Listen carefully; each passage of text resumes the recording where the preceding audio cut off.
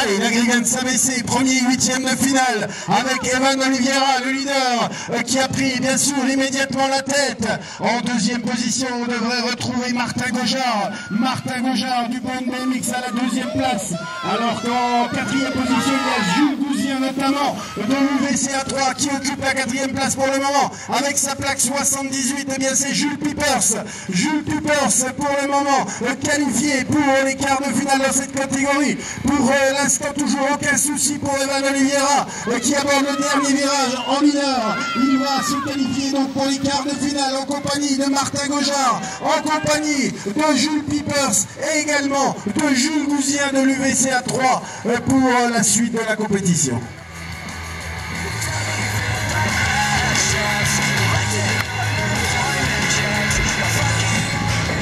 On a posé le pied à terre pour le pilote de Schwenheim sur la grille de départ. Alors on va voir qui parvient à prendre l'avantage. Eh bien c'est Sacha André Daval, le pilote de Dames BMX, euh, qui a pris l'avantage. Nathan Oliveira de Cerné est en deuxième position. Ça attaque fort là dans le premier virage pour aller chercher la troisième place. Alors pour le moment, elle est détenue par Gabin de Hennevillette de Longness. Gabin de Hennevillette donc en troisième position. Alors que la quatrième place, elle est pour le pilote de Schwenheim, euh, Thibaut 1100. Thibaut 1100 qui devance pour le moment Malo Duard pour aller chercher la qualification pour les quarts de finale. Ça sera le cas pour bien sûr Nathan Oliveira, pour Sacha André Naval, pour le pilote de Longness Gabin de Hennevillette et pour le pilote de Schwenheim Thibaut 1100.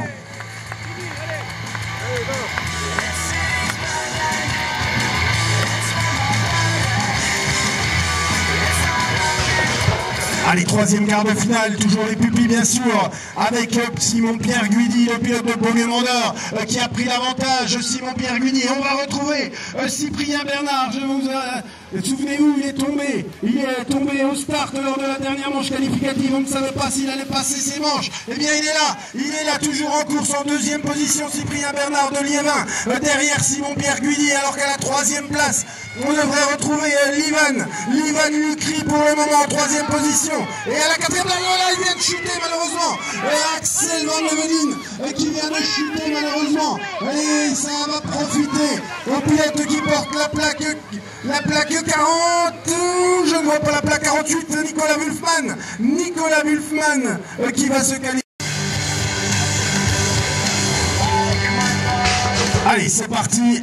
Huitième de finale à nouveau avec euh, Johan Provo peut-être, mais il a un petit peu manqué son départ, Johan Provo.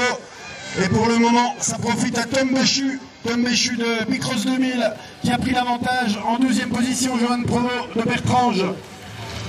Alors qu'à la troisième place, on va retrouver encore Bertrange avec Valentin Hogg et Bertrange encore à la quatrième place avec euh, Maxime Vrin. Ah là là, le trio de Bertrange derrière Tom Bechu euh, pour la qualification pour les quarts de finale. Est-ce qu'on retrouvera bien les trois pilotes du club de Bertrange en Bourgogne? Eh bien, il me semble que oui, il n'y aura pas de changement. C'est bien Tom Béchu qui va s'imposer. Et les trois pilotes de Bertrange, à savoir Jeanne Provo, Valentin Hogg et Maxime Vrin, se verront qualifiés.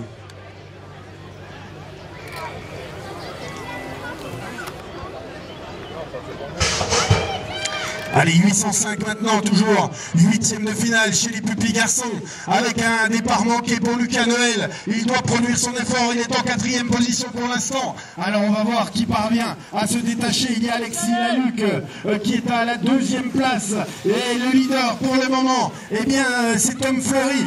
Tom Fleury de Compiègne-Clairoy en première position. Le retour de Lucas Noël à la deuxième place maintenant derrière Lucas Fleury. Euh, derrière Tom Fleury, pardon. Et la troisième place, avec sa plaque 16, eh bien c'est Alexis Laluc, bien sûr. Alexis Laluc pour le moment qualifié. Et le dernier nom à connaître, le dernier nom à connaître, eh bien c'est Thibaut Netzer. Thibaut Netzer de Schwenheim, euh, qui va aller lui aussi chercher sa qualification. Alors que sur la ligne, eh bien c'est Lucas Noël euh, qui s'impose dans ce huitième.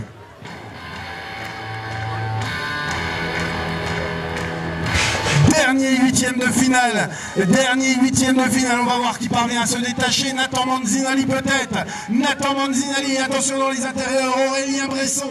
Aurélien Bresson avec son maillot de champion d'Île-de-France. Pilote de voisin BMX Club est en deuxième position puisque c'est bien Nathan Manzinali euh, qui a pris la tête. À la troisième place pour le moment, et eh bien c'est Esteban Doll du club de Bonne BMX. Mais il y a eu un beau retour également de César Apka. César Apka vient de s'emparer de la troisième place. Et va-t-il parvenir à la conserver Et surtout Esteban Doll va-t-il parvenir à conserver cette quatrième place puisqu'il est sous la menace notamment de Théo Mathieu et d'Esteban Valli. On est dans la dernière ligne droite. Et c'est bien Nathan Manzinali qui va se qualifier en compagnie d'Aurélien Bresson, en compagnie du pilote du Bonne BMX Esteban